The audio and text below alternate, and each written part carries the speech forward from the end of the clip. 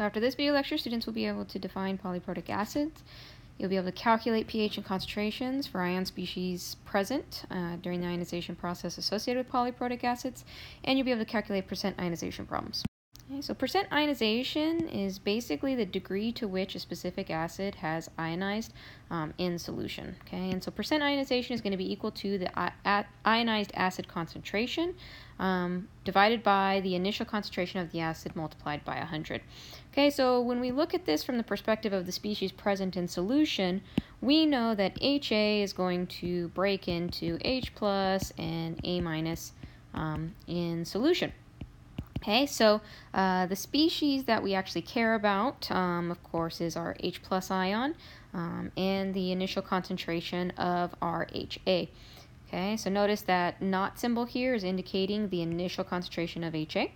Um, and basically the approach to these is, is going to be um, you're needing to solve for H plus at equilibrium, and you can compare that directly to the initial concentration of HA and just subsequently get your percent ionization for that specific acid. Now, obviously, this is mostly uh, an approach we take when dealing with weak acids because their degree of ionization is not 100% like with strong acids. Um, so this will be something that you will see over and over again with weak acid problems. So let's go ahead and use Ka to calculate the percent ionization um, of a weak acid. Okay, so we want to calculate the percent ionization of 0.50 molar HF solution with a Ka of 7.1 times 10 to the negative fourth. Okay, so HF um, is going to ionize into H plus and F minus in solution. Okay, so let's go ahead and write out this ice table for uh, this setup. Okay, and we know that our initial concentration of our HF is 0.50 molar. Our initial concentrations of our H plus and F minus are zero respectively. Now we know HF is going to decrease, uh, and we know that H plus and F minus are going to increase, and that will give us the following equilibrium concentrations. Um, now, Ka in this context is going to be H plus times F minus concentration, all divided by the concentration of HA. Okay, and we've been given our Ka value, so, and we know our equilibrium um, uh, setups here. So what we're going to do is we're going to go ahead and plug those in. So Ka is going to be equal to x squared over 0.50 minus x, um, which is all going to be equal to that 7.1 times 10 to the negative 4 Ka value. Now, because K, uh, A is so small, we're going to go ahead and drop X um, down here. And we're going to end up with X squared over 0.50 equal to 7.1 times 10 to the negative 4. Okay, um, and if we go ahead and we manipulate this, we end up with x squared is equal to 3.6 times 10 to the negative 4. And taking the square root of both sides, x is going to equal to 0.019 molar. So now that we have our uh, concentration of X, of course we're going to go ahead and um, utilize this value uh, to figure out our percent ionization. Now remember percent ionization um, is equal to my H plus concentration divided by my initial concentration of the HF times 100. Okay, so we just solve for X. X corresponds to my H plus concentration. Um, so percent ionization is going to be equal to 0.019 divided by 0.50 times 100. Okay, and this is going to give us 3.8% ionized. Okay, now guys, in this context, what I want you to notice or understand um, is that the check that we do here um, is basically the same math or, or the same approach that we would take to calculate um, our ionization. So the reality of it is is that we're getting a two for one deal here in the sense that uh, checking if the dropping of x was acceptable is going to be essentially the same thing as checking our or calculating our percent ionization. And that works because we're talking about uh, monoprotic acids um, where basically the difference here ends up being equal to x. So let's go ahead and let's look at a slightly different problem. In this case, they are asking us to calculate our Ka from our percent ionization. They've provided us with our percent ionization. They've they've provided us with the concentration of our acid. And notice they've told us the name of the acid. In this context, lactic acid. Um, it's not one of the memorized ones that you guys have been required to know for the strong acid. Okay, so we can infer that it's a weak acid. Now, additionally, guys, um, uh, lactic acid is you know, obviously going to be represented by this uh, formula here. However, uh, we can treat it as a monoprotic acid and, and uh, set it up or, or um, set up our ice table using a generic acid uh, relationship. Okay, so HA is going to be equal to um, H plus plus A minus. Okay, so in this context, we have our um, values here uh, that allow us to calculate or set up our Ka. Um, that's going to be equal to H plus, A minus, and the concentration of HA. So this is our equilibrium expression. Now guys, remember um, I am using HA as a generic representation of this acid. Um, if you guys wanted to use this formula uh, all the way out, you could totally do that as well if that's less confusing for you. But for my purposes, this is what I like to do. Okay, so I'm going to set up my ice table. Okay, we're going to assume these changes um, are going to be what occurs. Um, and then 0.100 minus x, and x and x are what we're going to end up for our uh, equilibrium values. Okay, so now we may be sitting here saying, hey, we don't have a Ka, we don't have more information. Uh, what are we going to do next? Okay, well, remember that they've given us our percent ionization. Remember that percent ionization is equal to H plus concentration at equilibrium divided by um, the initial concentration of our HA times 100. Okay, so honestly, we know this value, we know this value.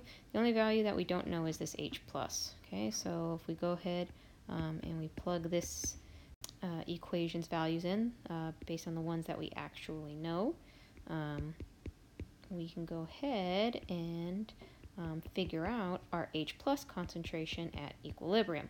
Okay, so if we go ahead and we manipulate this, and basically divide out the 100 and multiply by 0.1, we end up with our H plus equaling 3.7 times 10 to the negative third molar.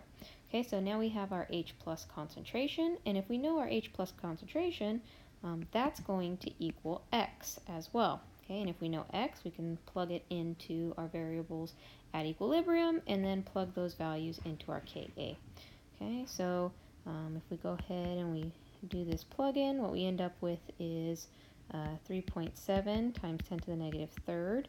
Okay, and we're going to square that because we're going to have the same value for our H plus concentration and our A minus concentration. Okay, and then uh, 0.100 minus 3.7 times 10 to the negative third. Okay, plug those in. Okay, and we plug all this into our calculator.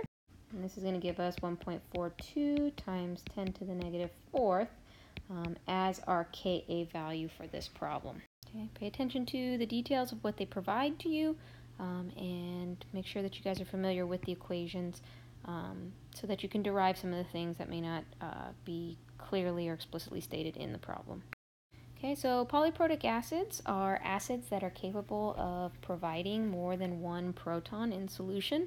Um, so subsequently what they will have is they will have uh, multiple Ka uh, values uh, for each of the protons that can be uh, produced in solution from each species. Okay, now each of these dissociations, so K1, K2, um, will always dissociate in a stepwise fashion, meaning that um, the first proton to be given away, that's going to be the one that uh, gets completely given away before the successive ones that come after. Okay, and also, guys, uh, something else to remember or to keep in the back of your head is that the first disassociation um, of, of the protons um, is usually the main contributor to pH, meaning it's the one that puts the most H plus into solution, so it usually dictates the pH. Okay, now an example of a diprotic acid is carbonic acid. Um, and basically, carbonic acid is produced uh, when we take uh, carbon dioxide and dissolve it in water.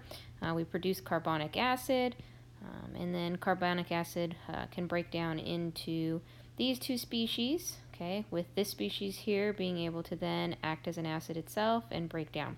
Now, what I want you to notice here is the difference in the Ka values for each of these successive ionizations. Notice that this Ka value is much larger than this one. Okay, and that's why we say that the first dissociation is going to be the one that's the main contributor to pH. Why? Because obviously the significant quantity of H plus that's put into solution um, is going to be coming from that first ionization. Okay, and uh, an example of a triprotic acid is phosphoric acid. Uh, you guys will also find this in, in soda. Um, basically, uh, this H3PO4 uh, is able to give away three protons. Okay, this is the first ionization. Second ionization occurs with uh, the species, one of the ion species that are produced from the first ionization. Okay, and then the third uh, ionization process occurs uh, with one of the ionic species that's produced in the second ionization process.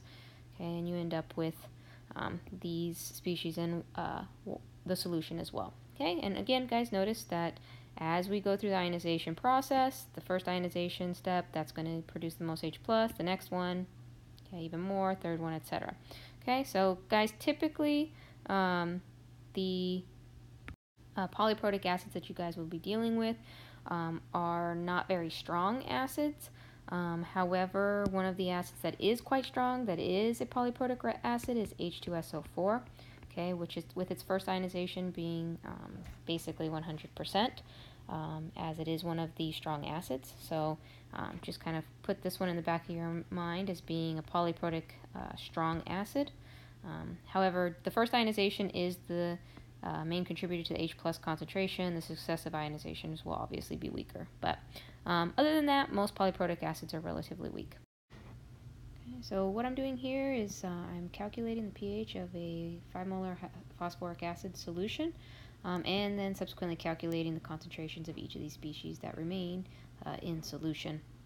Okay, so um, obviously we're going to need uh, three ionization uh, values or Ka values um, and each one of those obviously is something that you could look up um, in the back of uh, an appendix or something that I'd provide to you in the terms of practice problems.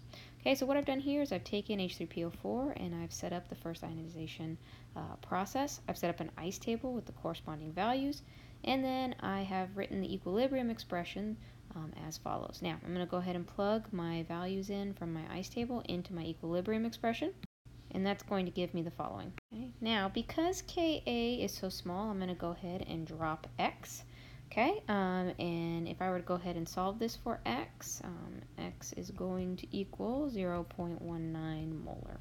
Okay, so at this point I have um, done these problems several times, guys, so you know that uh, basically you're solving for x, you're going to cross multiply up and take the square root of both sides.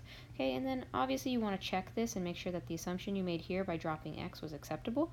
Um, when you do check that, you'll find it's under 5%, uh, so this is okay to do. Okay, so now we're going to go ahead and look at what we can solve from this information. Okay, so uh, now that we know x, we can go ahead and calculate our concentration of our H3PO4. Okay, that's going to be equal to 5.0 minus um, our 0.19 molar. Okay, which is going to give us 4.8 uh, molar as our concentration. Okay, so we've figured out one of our values here. Um, we can know our uh, concentration of our H2PO4 minus uh, because X is equal to it, as we see from our ice table here, um, 0.19 molar. Okay, and then our H plus concentration here is what's going to allow us to solve for our pH of this solution. So pH equals negative log of our 0.19 okay, which is going to give us 0.72 as our pH. Now, the reason why I'm able to take this and solve uh, for my pH now is because, as we've discussed, when we're dealing with um, uh, polyprotic acids, that first initial ionization is going to be the um, producer of the H plus um, in a way that actually affects pH in a, in a noticeable way. Um, so I can go ahead and calculate pH from this first ionization step. Okay, so calculated pH calculated the concentration of this species and this species. So now, um, obviously, I have some other ionization processes that are going to occur, okay? And they're going to start, this next one's going to start with this species that we see right here. Okay, so I've taken um, the uh, product here. Um, that's going to be our next ionization step. Um, and so this H2, one of these protons is going to be given away, and we're going to end up with these two species in solution. Okay, now based on the fact that the Ka value here is so low, we know that the production of this species is going to be relatively uh, small in terms of concentration. And our H plus concentration, although it will theoretically increase, it's not going to increase in an appreciable way. So what we're going to do here is for our concentrations for our H plus and our H2PO4 minus, we're just going to use the um, concentrations of H plus and H2PO4 minus that we obtained from the previous um, step. Okay, so we're going to plug those numbers in here and we obtain the following um, relationship. Okay, and so what we can notice here is that these two are going to cancel and that the concentration of the HPO4 2 minus is going to equal 6.2 times 10 to the negative 8th. Okay, so now that we've calculated that species um, and know its concentration, we can go ahead and move on to the final ionization um, that will allow us to calculate this uh, concentration here. So again, uh, we write out our uh, ionization product, um, and we have our Ka. We're going to go ahead and write our equilibrium uh, expression for this process, and that's going to give us the following expression um, with uh, keeping in mind that once again, we're just going to use the values from before. Remember H plus, we're just going to continue to use um, the original H plus value uh, that we calculated up here in the first step. Um, our HPO4 2 minus, we just calculated that in the step before this one. Um, so we're going to go ahead and plug those into our expression along with our, our Ka value. And this is what we end up here. Okay, if we go ahead and we solve for our PO4 3 minus, okay, by manipulating what we have here, we end up with 1.6 times 10 to the negative 19 um, molar. Okay, so we've gone ahead um, and we've calculated all of these concentrations as well as our pH. Now, what I want you guys to notice is that the reason why we're able to accomplish these problems in the manner that we are is because remember, each successive ionization um, is going to be occurring to a smaller and smaller amount, right? Okay, so we go from 10 to the negative 3 to 10 to the negative 8 to 10 to the negative 11. Okay, so the production of H plus in each successive ionization is going to be significantly, significantly smaller, um, while the production of the ions that are going to be being uh, producers of H plus in successive steps is also um, pretty much negligible. Okay, so these concentration values, notice um, they're getting significantly smaller over time. Um, and this is why we're able to make some of the assumptions that we have. So this is how you treat polyprotic acids. Okay, um, make sure that you um, basically treat them as follows. Always check your 5% rule um, before you proceed, but otherwise you should be okay with uh, this type of calculation.